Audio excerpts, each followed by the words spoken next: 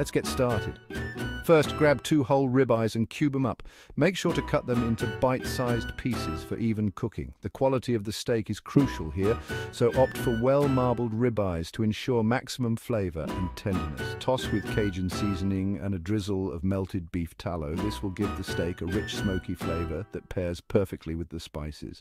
The Cajun seasoning is a blend of paprika, garlic powder, onion powder, cayenne pepper, oregano and thyme. This mix will give the steak a robust and spicy kick.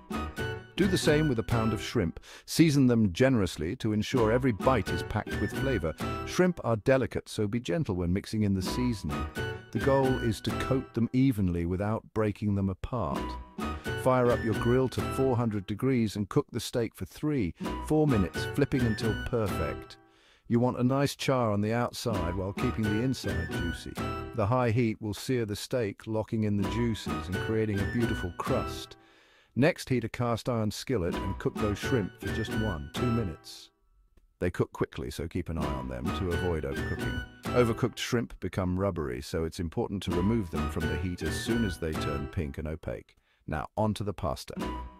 Cook 16 ounces of penne till al dente, save a bit of that pasta water. The pasta water will help bind the sauce to the pasta. Al dente means the pasta should be firm to the bite. Not too soft. This texture will hold up well when mixed with the rich Alfredo sauce.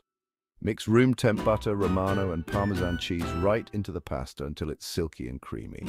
The combination of these cheeses will create a rich, velvety sauce. The butter should be at room temperature to ensure it melts smoothly into the pasta, creating a luscious base for the cheese. Now it's time to bring it all together. Add the grilled steak and shrimp to the pasta, making sure to distribute them evenly. This ensures that every bite is a perfect blend of flavors and textures. Top it all off with your grilled steak and shrimp.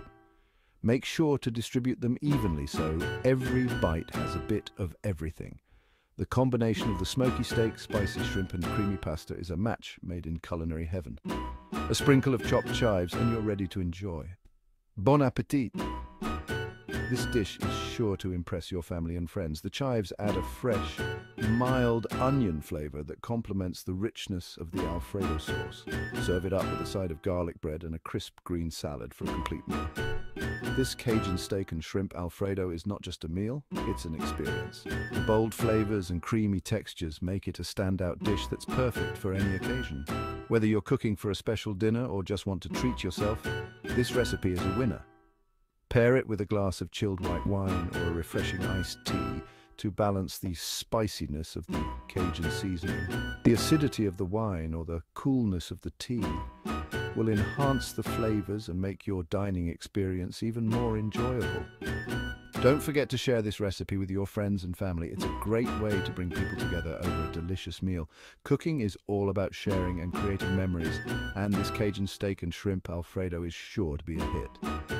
After enjoying your meal, take a moment to appreciate the effort you put into creating such a fantastic dish. Clean up your kitchen, put away the ingredients and savor the satisfaction of a job well done. Remember, cooking is an art, and every dish you create is a masterpiece. Keep experimenting with flavors and techniques, and you'll continue to grow as a chef. Happy cooking! Thanks for joining us today. If you enjoyed this recipe, be sure to like, comment, and subscribe for more delicious dishes. Follow us on social media for daily cooking inspiration. Until next time, happy cooking. Please like and subscribe.